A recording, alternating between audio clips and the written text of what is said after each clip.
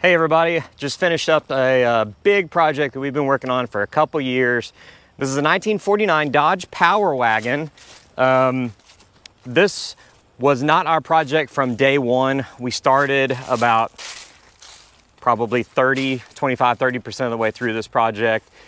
It um, is on an aftermarket chassis. Um, these cabs never came extended cab or crew, or, or crew cabbed. Um, so anytime you do that, you gotta cut the cab, move it back, and you can buy a lot of the pieces and components nowadays that are stamped. Um, this cab actually got started in its fabrication process at the manufacturer's shop uh, before the, the owner and him decided to not continue the build. So anyways, they started this. Um, we had a friend uh, up north. Um, he helped us smooth out some of the really complex sheet metal. So like even up at the, the back cab corners. Um, all this stuff up here, they had just like pieced together little squares of sheet metal to try to make round. Um, and it was terrible. So Luke, he went ahead and cut all that out and he shaped um, these pieces and TIG welded them all back in. And then uh, he helped us do some pieces in the hood, which um, this is a factory hood. So um, a lot of this stuff has to be has to be just right. It's just like a single sheet of sheet metal. So it's really hard to work with. It can't get warped. Um, so anyways, Luke started doing some of that sheet metal with us. And then uh, Dylan and I finished up 99% of, of what you see here. So a lot of these door gaps that are really good um, took a lot of time. Um, like these B-pillars, they had these B-pillars in the wrong spot. We had to cut them and move them. Um, now that guy, he does make these doors. So you can buy this entire door from him now.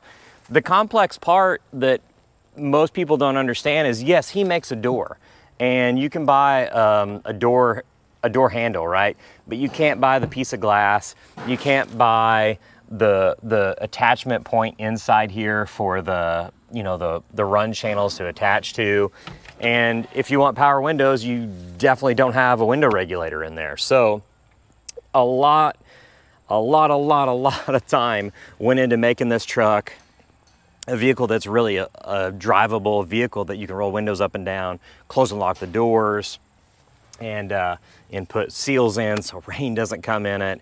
Um, it's unreal that there's a lot of these power wagons that have been put together um, without some of the stuff that that makes them really good vehicles. So like you can even see here where um, Dylan and I dimpled uh, the the door shells.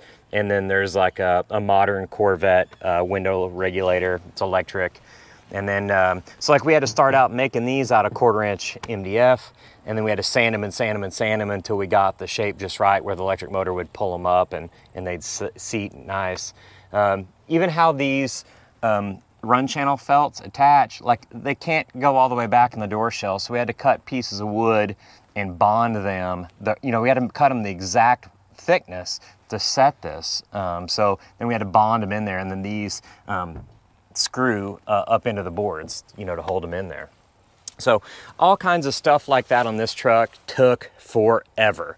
But this has turned out to be one of the coolest vehicles that we've ever had um, any part in. Um, but even the floors, the rockers, all that stuff has to get made. Even the seat risers, like we made all the seat risers. Um, and then like integrated speakers, I think there's a set of three and a half inch speakers down in here. And then we bonded you know, mounting rings to the back side of this and there's speakers in there. The rear seat, um, it's held in by really strong rare earth magnets, but you can still lift the base of the seat up and there's storage inside there. Um, we built a little cage. Um, it's not much of a cage, it's mainly just a rollover protection bar. Um, so there's a rear main hoop, and then a, a driver's B-pillar main hoop, and then some bolt-in bars um, that hold it all together, and then there's some LED map lighting. So if this ever really went over, um, you know, he has a, a, better chance of surviving a rollover now, um, other than the sheet metal cab just caving in on itself. Um, I'm just gonna talk about the interior since I'm right here, and I'll tell you what, I'm gonna go around to the other side since the sun is so intense.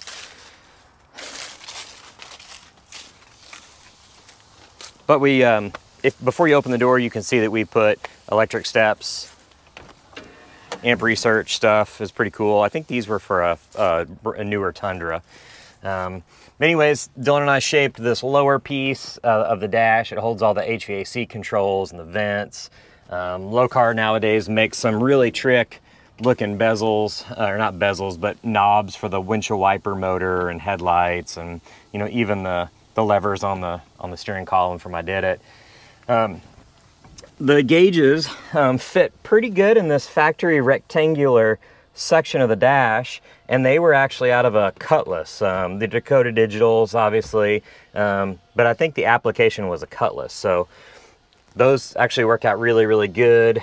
Um, they show all the information you would ever need to see, you know, whenever your oil changes due, you know, your trip, ambient temperature outside. Um, it shows you check in. I mean, it shows you everything. Um, but I really, really like how the upholstery turned out in this truck. Um, Scheel-Mann seats are what we prefer to use a lot of times in these vehicles that get a lot of miles on them. Um, anytime you're actually going to drive a lot of miles, man, you have got to have some comfortable seats. You know that we're all about some track days and autocrossing and stuff like that, but those seats are way out of place in this environment. So the Scheel-Mann seats have lumbar, um, the leg section or the under your thigh section can move in and out, can move up and down. It's got heaters in the bottom and the back. You can see it's got high and low seat heaters here. Um, just really, really comfortable seats. They've got map, um, map storage in the back still. Um, our friend Luke again um, is really good at really complex sheet metal and uh, he did the center console for, for Gene and us. We had a pretty weird, specific idea of how we wanted this, and so, uh, man, he knocked it out. Cup holders and power window switches.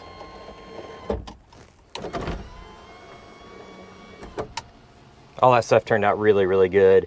Um, we wanted the interior to be pretty stock. That's why all this stuff is here. Um, I the easiest thing would have been to put a screen right up here, but man, after all the work keeping this dash nice and clean, the last thing I wanted to do was put a screen up in there. So that's kind of what we did. Glove box, uh, we fabricated the sheet metal glove box and bed lined it inside. Um, it's got trailer brake controller here for when he hooks up his trailer. Um, electric parking brake. This is very cool. Um, the key's on now, so that's why it won't set. But electric parking brake is just a really trick feature. Um, got speakers up front. German square weave carpet on the bottom, which is one of my faves. Um, green seat belts, I'm sure I've gone over that. But um, let's get right to it, man. The, uh, the part that y'all wanna know about is the drivetrain, I'm sure. Um, this one has got a Hellcat crate motor. Um, in the beginning, I had my doubts. Um, I thought, geez, a gas motor in a vehicle that is this big can't feel great. Um, it'll be it'll be not enough power, and uh, I was definitely proven wrong. Um, this motor is very powerful feeling. Um, that big blower um, gives it tons of torque. It is a riot to drive on the street, man. I'm very happy with how this turned out. I'm sure the fuel economy is piss poor, but um, it makes all kinds of fantastic sounds and gets tons of looks on the highway. The frame is an aftermarket frame. Um, you pretty much have to build these chassis. You can buy the rails. They've got one bend up here where the front, the, the, engine is and the front suspension, but then you can buy them as long as you want. So if you're building a crew cab, it's a certain amount of length. But uh, these suckers are like inch and a half, five inch rectangular tubing with 3 eighths wall. So they are super heavy duty. Um, Dylan and I tried to move this frame around in the shop. You can't even pick the front end of the frame up when it's, even when it's bare. Um, it's insane. Um, transmission is a 4L80E um, adapted to that Hellcat. Bowler Performance Transmissions built that transmission and it works very, very well. Um, man, converter locks up in fourth gear. You can cruise 80 miles an hour. It feels fantastic. I love the gear ratios in a 4L80. That's really one of the big reasons why we chose the chose that. Um, it's it's more of a close ratio transmission um, than than a giant widespread. Um, so first gear will actually last a little bit, last a little while. Um, it makes this low end torque feel good. It won't just immediately light the tires off. I mean, it, it will, but you know, if you had like a a 4.0 or even some of the modern transmissions have really short first gears, um, it's useless um, in my opinion the rear end selection, the gear ratio for the rear end gets really complicated. Um, so putting a close ratio transmission like a 4L80 is what I like to do. Also, it'll hold up to this thing forever and ever and ever. Um, NP205 transfer case with twin sticks. The axle's out of um, like a one ton or a three quarter ton, maybe 2010 Dodge truck. So they're a 14 bolt in the back and they call that like an AAM 925 or a metric Dana 60, I guess is what that would be. So I don't know everything about all that stuff, but um, really heavy duty parts. Um, the truck turned out really good. All that stuff is heavy duty. We got about 300 miles on it now and everything is really good. King coilovers with no sway bars. It feels awesome. It feels like a trophy truck when you drive it around town. Um, all LED lighting. Um, it has the factory PTO driven winch that is now hydraulically driven. Um, we've got like a um, hydraulic lift bed or a dump bed, uh, electric DC electric um, over hydraulic pump in the back. And it turns the orbital motor up here. And so you just got a little controller that you plug in and you can run the motor forward or backward to, you know, feed or reel it back in. So that turned out really good. Use like a really fine um, half inch aircraft cable. It looks super, super heavy duty. Um, I don't know, just overkill like every other thing on this truck. But um, anyways, that's this truck. That's a lot of the uh, technical nitty gritty. Test. okay, these are, here, I'll get the good side. JRI coilovers. This is for the OBS build. But you guys have been really into this build. I'm really into this build. And um, we're gonna go, we're gonna go do some more filming. I wanted to catch this uh, real quick since it came in. I was super pumped to open this, so I figured I would do a little un unboxing video. Um, the OBS truck, the frame is off the frame table. And it'd be funny if these is just two coilovers. And it's the front, not even the two that I'm waiting on. now it feels pretty heavy. but anyways, it's off the frame table uh, and the body's mounted um, but we need to make the rear shock brackets so that we can get it into a rolling chassis. So Zach's been all over me like every other day, like, hey, one of those shocks gonna be here? Well, finally they're here. Oh yeah. So it is all four, cool. So these are the front. So I got 800 pound springs on these.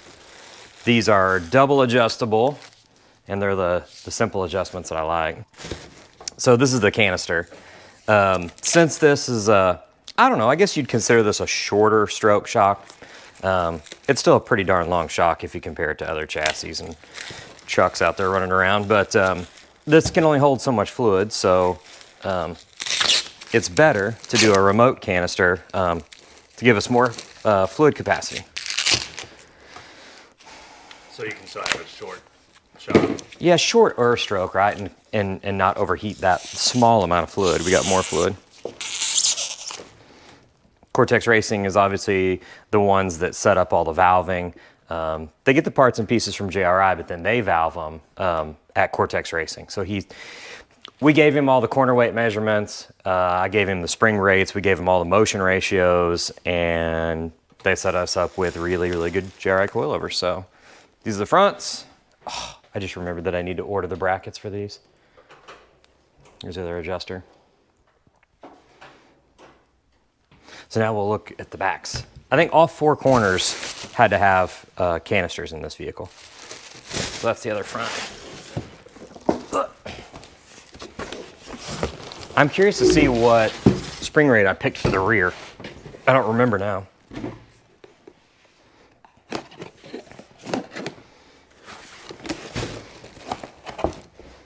Very cool. So the neat thing about JRI um, is that I can, look at this, like I can tell them exactly how much room I have in my bracket and they'll machine the, the spacers for me.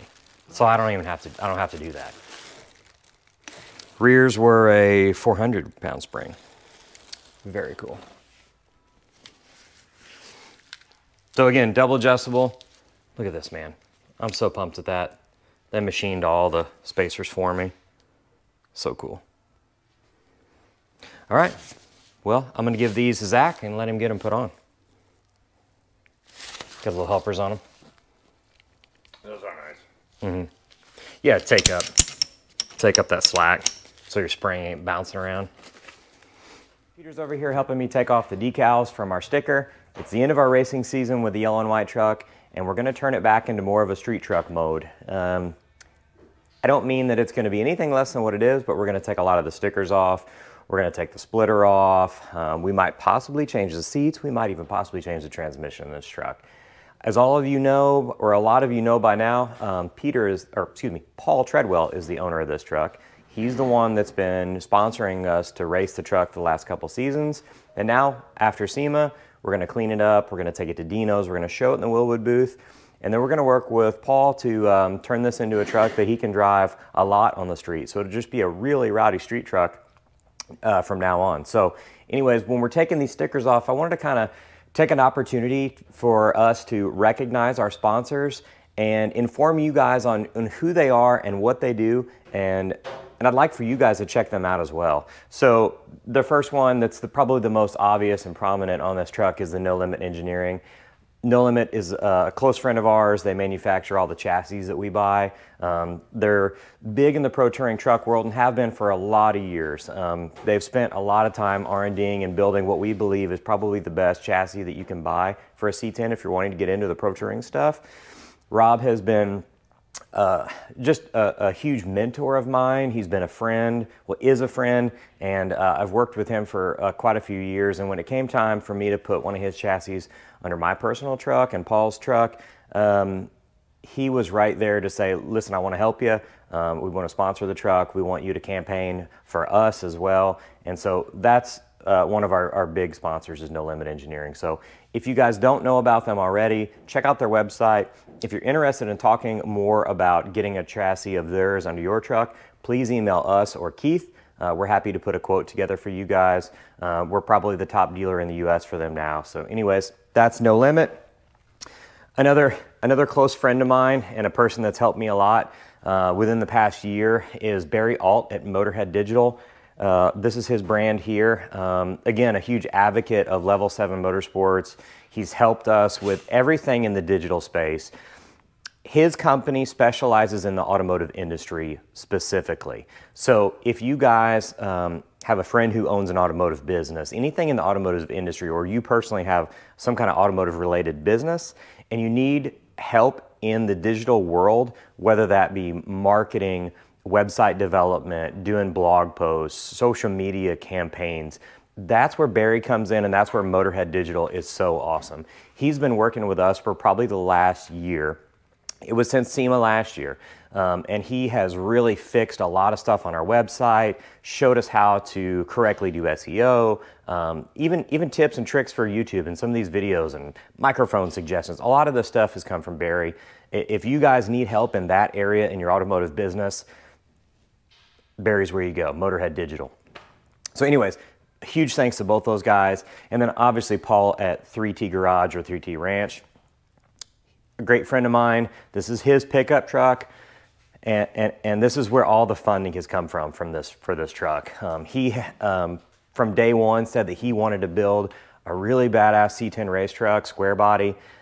He wanted this truck specifically to be his, and he wanted to build this truck into something very cool.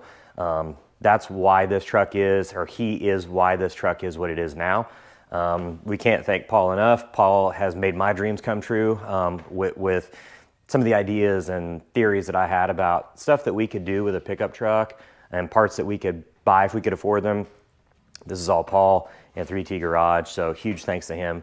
But anyways, I don't want to create a giant video um, covering a lot of this stuff. I mainly wanted to talk about the sponsors that have been involved in this project, what they do, and why they've been so important to us. So anyways, please, I'm going to put in the bottom of this video links to some of these guys' web pages or their social media feeds.